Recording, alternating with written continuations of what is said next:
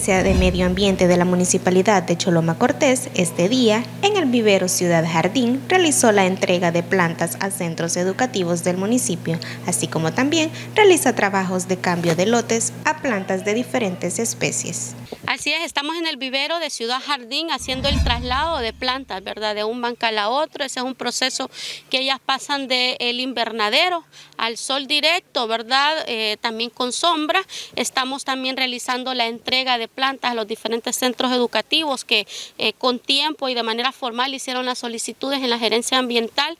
Vamos eh, ya contemplando la entrega de más de mil plantas este día y esto también pues viene a sumar a lo que son los números de reforestación bajo el proyecto municipal Choloma Verde. Entonces centros educativos como La Cabañas, el Choloma, la la, Llanes también del sector sur se suman a esta jornada de reforestación. Eh, vecinos de eh, la comunidad de Villa Valencia, se acaba de ir un vecino, un vecino de Cerro Verde y reiteramos ¿verdad? la invitación a la población que aunque no esté organizada bajo una institución gubernamental o u, organismo, ¿verdad? nosotros podemos recibirles las solicitudes personales, pero solicitudes por escrito porque al final nosotros también tenemos que dar cuenta entera de cada una de las plantas donde están sembradas.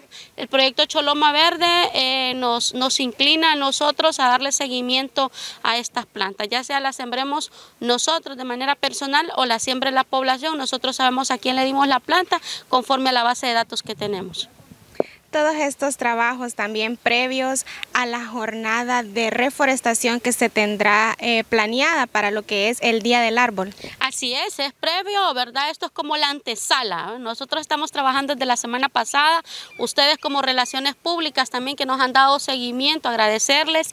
Estamos trabajando desde la semana anterior eh, en, este trabajo de, antesala, valga la redundancia. Estamos pues acercándonos pues a la jornada de reforestación masiva a nivel nacional vamos a celebrar el Día del Árbol Nacional, que es el pino, como nosotros lo conocemos, del cual queda ya muy poco baja en nuestro país, pero eh, también tenemos un proyecto en, el municipio de Choloma para hacer unos seis bancales solo de pinos para conmemorar también eh, la vida de ese árbol que ha sido el símbolo nacional de nuestro país. Y pues en este momento nosotros pues vamos a sembrar ornamentales, vamos a sembrar frutales, vamos a sembrar árboles de sombra y maderables en las propiedades donde la población, ¿verdad?, pueda acreditarnos que es de ella o de él la propiedad y puedan certificar esa planta para que en un futuro le puedan dar aprovechamiento a esa madera.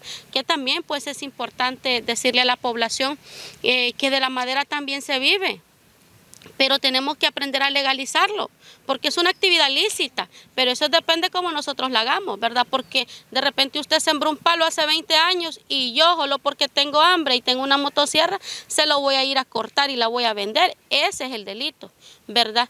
Pero si yo sembré en mi propiedad, certifiqué el árbol y luego puedo aprovechar la manera de manera legal, sí, sí se puede, ¿verdad? Siempre y cuando se sigan los lineamientos. Entonces, esta es una forma de vida.